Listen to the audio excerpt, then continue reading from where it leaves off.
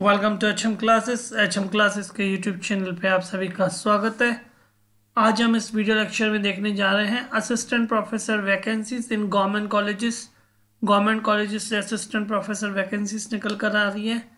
500 plus post in all streams arts commerce and science vacant post in 56 subject interview based selection salary 75,000 per month approx मिलने जा रही है। ये vacancies छप्पन subjects में है। यानी आपका सब्जेक्ट जो भी हो, इसमें आपकी वैकेंसीज मिलने के हंड्रेड परसेंट चांसेस है। इंटरव्यू बेस्ड सिलेक्शन है, कोई एग्ज़ाम नहीं देना है। इजी टू एप्लीकेशन है। चलिए हम पूरी जानकारी लेंगे, आगे बढ़ें। अगर आप हमारे चैनल पर नए हैं तो हम आपको एक सूचना देना चाह रहे हैं। अगर आप नेट सेट पी या गवर्नमेंट जॉब की तलाश में हैं तो हम आपके लिए assistant professor jobs news update लेके आते हैं हायर एजुकेशन न्यूज़ अपडेट करवाते हैं गवर्नमेंट जॉब्स न्यूज़ अपडेट करवाते हैं। उसी के साथ ही अगर आप पोस्ट ग्रेजुएट हैं और आप नेट करना चाहते हैं तो हम आपको पूरा सहयोग देते हैं। जैसे कि आप नेट कर पाएँ N T U G C NET paper first commerce and management की कोचिंग हम फ्री देने जा रहे हैं। आप हमारे चैनल पर नए हैं तो हमारे चैनल को सब्सक्राइब कीजिए लाइक कीजिए फ्रेंड्स और रिलेटिव के साथ शेयर कीजिए और बेल आइकन को प्रेस कर दीजिए फॉर ऑल नोटिफिकेशंस चलिए हम देख लेते हैं, पहले सब्जेक्ट्स देख लेते हैं, जिन सब्जेक्ट्स में वैकेंसीज निकल कर आ रही है। आप देख पा रहे हैं एंथ्रोपोलॉजी सब्जेक्ट्स में वैकेंसीज हैं। नाइन वैकेंसीज हैं बायोटेक्नोलॉजी सब्जेक्ट्स में वैकेंसीज हैं। उसमें टू वैकेंसीज है, बंगाली में है बॉटनी में है बिज़नेस एडमिनिस्ट्रेशन में है केमिस्ट्री में है कॉमर्स में है कंप्यूटर साइंस एंड एप्लीकेशन में है इकोनॉमिक्स में है। और इसमें आप देख पा रहे हैं एस टी एस सी और अनरिजर्व सारी वैकेंसीज की डिटेल इसमें पूरी दी हुई है। एजुकेशन में है आ, उसके बाद इंग्लिश में है जेंडर स्टडी में है और जोग्राफ़ी में है जूलॉजी में है हिस्ट्री में है हिंदी में है होम साइंस में है integrated B Ed M Ed foundation course में है integrated B Ed M Ed pedagogy of history English में है। उसके अलावा दूसरा भी integrated B Ed M Ed pedagogy of physical science में है।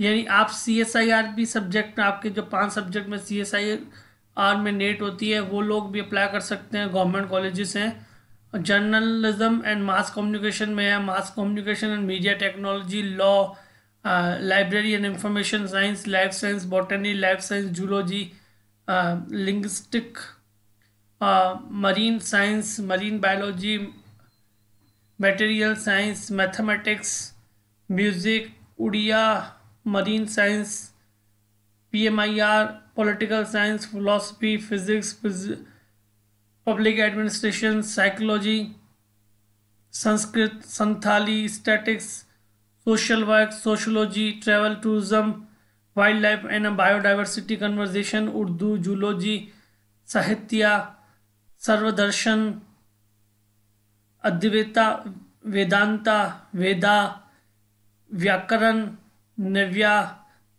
धर्मशास्त्र ज्योतिष ज्योतिर्जन्ना कुछ नया ही सब्जेक्ट है। मैं भी फ़र्स्ट टाइम ही देख रहा हूँ सब्जेक्ट्स को। चलिए हम बात कर लेते हैं। सारी हमने वैकेंसीज बता दी, इसमें आप देख पा रहे हैं। पाँच सौ चार वैकेंसीज निकल कर आ रही है। इसलिए हमने थंबनेल में फाइव हंड्रेड प्लस लिखा था, क्योंकि इसमें प्लस और माइनस भी होते रहते हैं। फिफ्टी सिक्स सब्जेक्ट्स हैं टोटल मिला के। इसमें आर्ट्स भी है साइंस भी है कॉमर्स भी है, सारी वैकेंसीज हैं इसमें असिस्टेंट प्रोफेसर की। चलिए इसमें और डिटेल की बात कर लेते हैं एलिजिबिलिटी की बात कर लेते हैं और एप्लीकेशन फ़ीस वगैरह भी हम बात कर लेते हैं इसमें।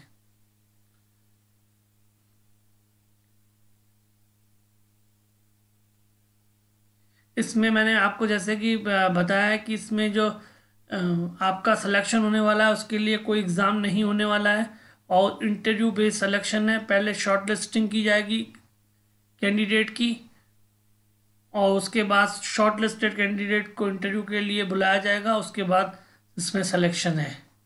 अगर इसमें एप्लीकेशन फ़ीस की बात करें तो फोर हंड्रेड एप्लीकेशन फ़ीस है। और क्वालिफिकेशन की बात करें तो जैसे कि मैंने ये लिखा हुआ मेथड ऑफ़ सिलेक्शन इसमें साफ़ लिखा हुआ है कि आपके शॉर्ट लिस्टेड लिखा हुआ है shall be shortlisted for interview यहाँ पे देखिए आप लिखा हुआ है।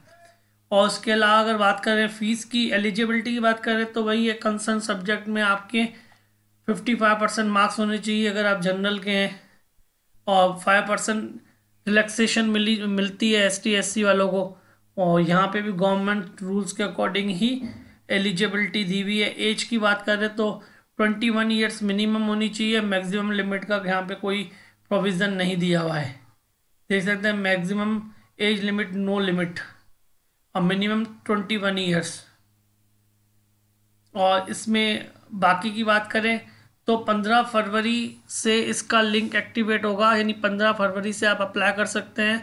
और टिल चौदह मार्च तक आप इसको अप्लाई कर सकते हैं।